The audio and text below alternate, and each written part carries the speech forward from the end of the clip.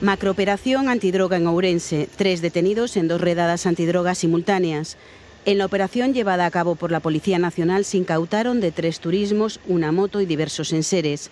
La Policía Nacional desmanteló este jueves un presunto narcopiso situado en el barrio de Ocouto y detuvo a las dos personas que vivían en el inmueble. La incursión se llevó a cabo a primera hora de este jueves, 11 de abril, alrededor de las 6 de la mañana en la calle Gregorio Fernández. En una operación de envergadura, dos vehículos de la Policía Nacional cortaron la calle mientras otros agentes inspeccionaban al detalle y con gran rigor el interior de la vivienda. El registro, que duró más de cuatro horas, acabó con la detención de los dos inquilinos. Ambos son pareja. Asimismo, como resultado del registro, los agentes incautaron de al menos tres turismos, un Hyundai negro, un Audi de color rojo y un Mini Cooper negro con detalles en rojo y una moto de marca BMW. También se llevaron varias cajas con objetos de diferente tipología en su interior y una especie de tabla rectangular plana empaquetada cuya descripción encajaría con una mesa.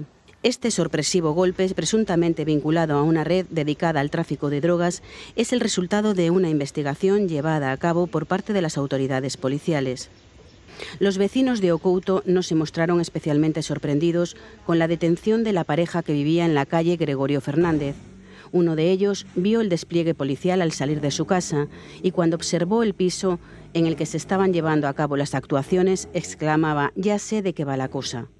Otra de las residentes del barrio, al distinguir quiénes eran las personas detenidas, no se llevó ninguna sorpresa. Sospechábamos que algo estaba sucediendo en ese edificio porque veíamos a diario mucho movimiento de vehículos y de personas, señalaba. La vecina describió a la detenida como una mujer amable.